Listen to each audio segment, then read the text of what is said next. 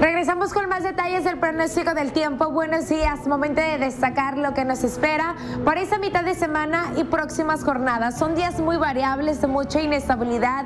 La atmósfera se encuentra muy activa y en la mayor parte del territorio nacional seguimos hablando de precipitaciones y por supuesto también para el centro. Son muchos cambios y es que durante este día sí tenemos precipitaciones y ya después, durante el próximo jueves y viernes, temporalmente va bajando la probabilidad de precipitación y tendremos algunos chubascos pero aislados.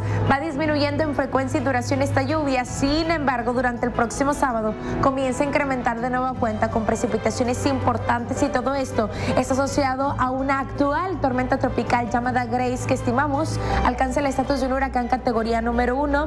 Y sus bandas convectivas de nubosidad, aunque no afectan directamente en el centro de la República, sí estarán generando precipitaciones, un incremento notorio en la humedad y en la lluvia. Y bueno, es muy importante no confiarnos, no hay que bajar la guardia y también, por supuesto, hay que darle un constante seguimiento al reporte meteorológico. Les platico detalles sobre Grace, donde todavía es una tormenta tropical. Según el Centro Nacional de Huracanes, la han ubicado a 710 kilómetros al este sureste de Tulum, Quintana Roo. Mucha atención que la zona bajo riesgo durante esta madrugada o bien durante las primeras horas, incluso también de este próximo jueves, es Quintana Roo. Todas las personas que tienen planes de viajar desde mañana o bien para el próximo viernes, las precipitaciones son importantes, más la marejada ciclónica, el fuerte oleaje. Todavía la gente que habita en estos puntos, bueno, están a tiempo de prepararse ante estas futuras condiciones que se esperan sean más que relevantes. Por supuesto, hay que seguir todas las indicaciones de protección civil. Nosotros le damos un constante seguimiento a esta todavía tormenta tropical que se espera se convierte en huracán.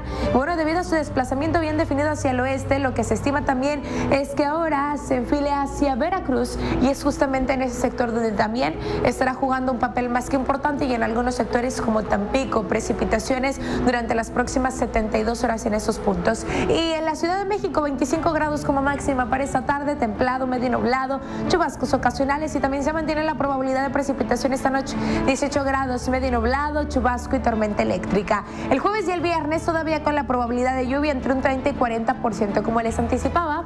Baja la probabilidad de lluvia durante los próximos días, la máxima entre los 25 a 26 grados. El sábado mayormente nublado, tormenta eléctrica otra vez. Incrementa la probabilidad de precipitaciones un 70%. Mínima de 14, máxima de 22 grados y hasta bajó un poco la temperatura. Para el Estado de México, en algunos sectores como Tlanepantla, en Naucalpan y Ecatepec, disminuye la probabilidad de lluvia desde este miércoles.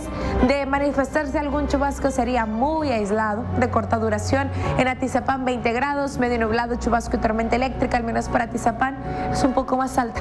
La probabilidad de precipitación para Toluca, medio nublado con chubascos ocasionales, mínima de 9 y máxima de 20 grados. Hasta aquí la información del pronóstico del tiempo. Nosotros continuamos con más. Buenos días.